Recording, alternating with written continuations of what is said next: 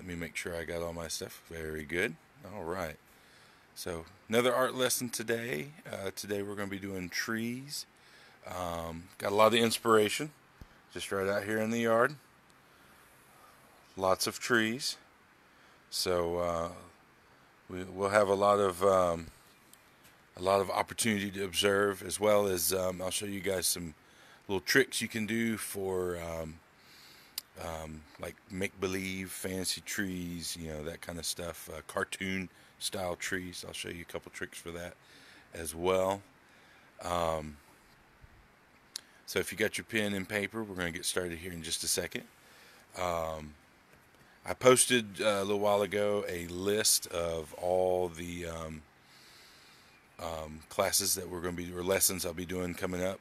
I'm going to do uh, outdoor sculpture tomorrow, which will be fun. So um, uh, if, if, you're if you show up for that one, that'll be pretty interesting. We're to do I'm going to do some um, gather some sticks and stuff, and I'm to show you guys some um, different styles of uh, little outdoor installations you can do.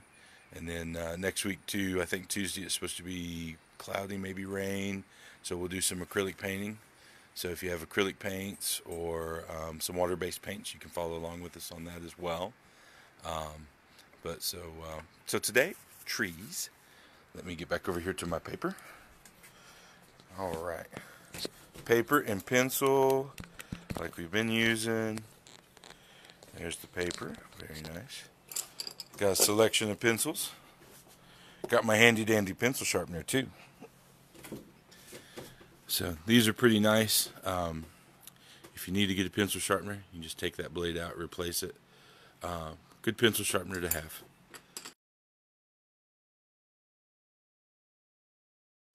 Drawing trees in the wintertime is is easy.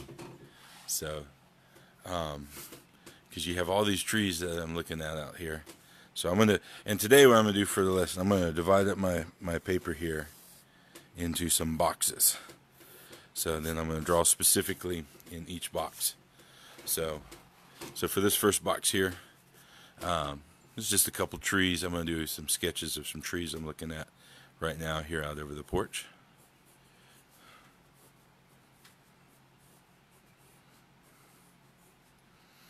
There's this wild rose bush that's kind of down here. There's this one tree. It has this weird crook in it, like like something hit it. There's a couple limbs coming off. So when you draw your, your limbs, it's really easy. You just right off the side there. Um, little tree, doesn't have to be thick.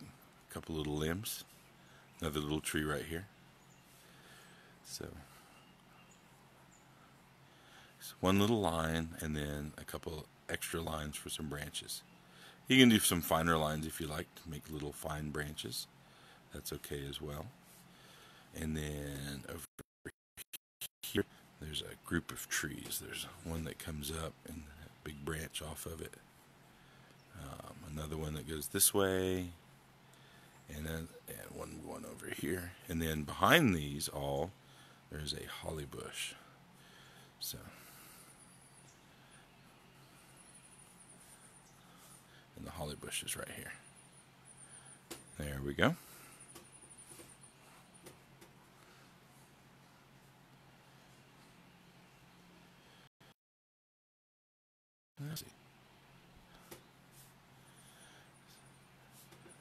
Some more trees back here in the distance. Just like that. And then, um, depending on if you're looking outside or if you're making it up, let's say there's a mountain ridge that comes down through here. So you be careful. You don't want to slice through your trees. You want your trees to, to look like trees and some more off in the distance that way just like that and then as you go up here top of your box you can put more little branches. All right. Um, another thing from observation. If you notice that trees when they fork or split there'll be a main part that keeps going up a shadow on this side. Tree limb, a little bit of shadow in the fork there, and then it goes up, and then some other little branches off of that too. So let's see if I can zoom in on that a little bit better. There we go.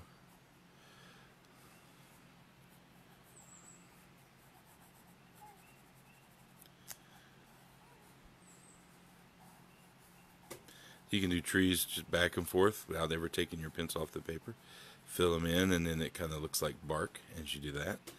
And then also um, these other little trees. I like to do little trees just with one quick line, and then a couple other little lines, and then you just come through like that.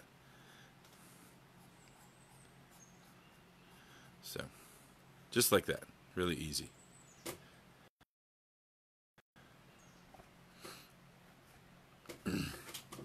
All right.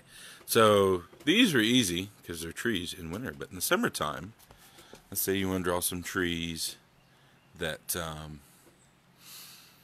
um, have foliage on them and stuff. So the easy way to do that, um, and this is a trick I learned in drafting, because when you draw trees on, for a house plan on the elevation, you don't really draw all the parts of the tree. So you've got a trunk, and then here's going to be the top and it's going to come around the bottom, the back, just like that. And then we'll draw little little tufts here and there, kind of fill it in, like this. A couple of branches. And you can get a you know, your eye tells you when you view this, it tells you it's a tree. Whoever's looking at will go, oh, that's a tree. So you can get away with kind of leaving a lot of the information out and just filling it in like this big puff ball. Um, it's a trick for model railroading too, if any of you out there are train buffs. Um, fiber filled puff balls. That's another video though. All right, so a couple of more trees. Show a couple groups of trees back here. Remember, trees that are further in the distance would be behind this tree, so make sure you have them overlap. Creates that sense of distance, sense of space in your drawings. There we go. And then uh, a little bit of a little bit of some ground. We'll come through and flatten this out like that. Just a couple little marks to kind of show different little elevations in the ground. You can build them up on this tree here. If you were, if you wanted to do a shadow, you could come in and fill it in darker for the shadow of the tree. Uh, don't forget though, trees filter in a, let a lot of uh, light come in so you'll get this dappled effect on the ground. So it's okay when you do your shading. If you leave a lot of white spots, that's all right. Makes it look very, uh, very natural. Just like that. All right. And then, so another little thing I like to do, um, bushes and, and whatnot, just, you know, again, we're just drawing these little clumps like this, and then you know a tree will come up out of that, kind of like it is here, and maybe some more,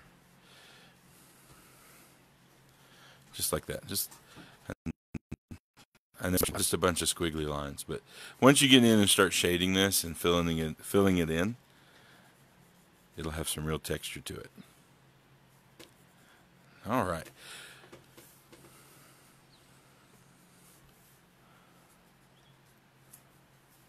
Again, another tree back behind this. There we go. Okay. Down here at the bottom, I'm going to show you some tree trunks, um, some big trees, what I like to call fancy trees. But um, you have your roots that will come out. Your trunk will come up this way. The other side of the trunk over here, another root, and then you'll have this one that you don't really see the root coming towards you, but it gets like the knot, and then of course another, maybe another one over here too. And when you do trees like this, let's come in a little shading, more lines. But you could do these fantasy trees like this. Um, have a dead part, and it goes on up.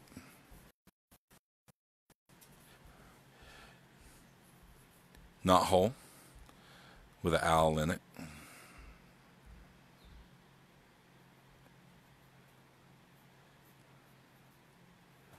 There we go. Got a little owl hiding out here in the knot hole of the tree. So when you do a knot hole, I could come through with these, just these little marks like this around the edge. make it look like it was built up, like the branch came out and it snapped off.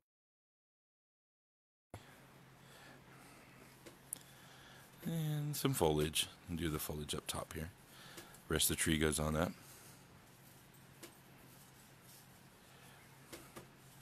Yeah.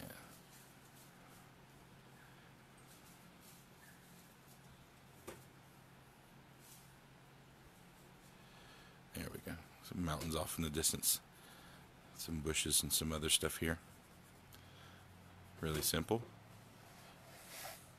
Um, one of my favorite ones to do is so you get the like the Dr. Seuss style trees. So you just come through. But don't forget it has a, a base. So like when we were talking about drawing shapes, you want to kind of show that it's sitting in the ground, even though it has this weird, you know, grass foliage thing at the bottom. Then,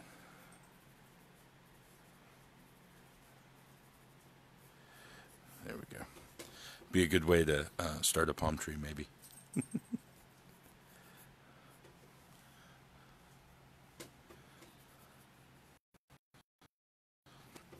All right. Some other things too, if you want to get in close to your trees. Um, some great tips for drawing leaves.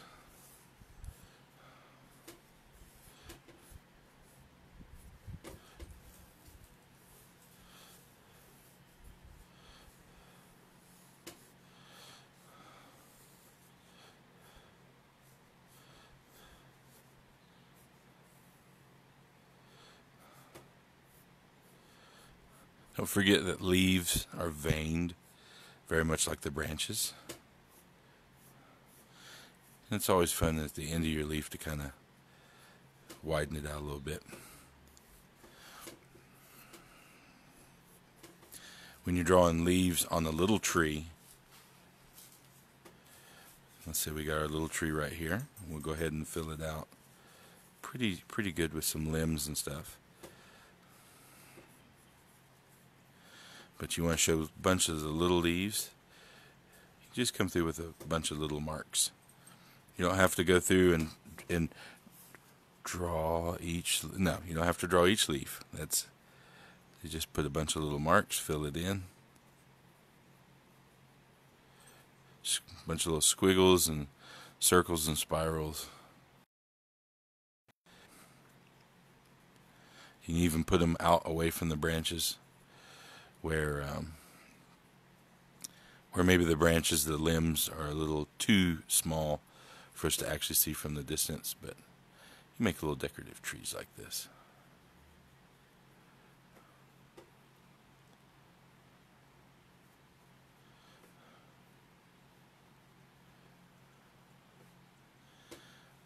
So again, remind everybody for your pencil selection, I really enjoy using all the B pencils that start at HB and go up. Um, I typically like to draw with a 4B, 5B, uh, even a 6B, which is what I'm using today. Uh, you can use the H pencils, which are harder, but they make a finer, lighter line. Um, I would use, I would save those um, if you wanted to draw like on a piece of paper before you painted on it with watercolor or tempera or gouache.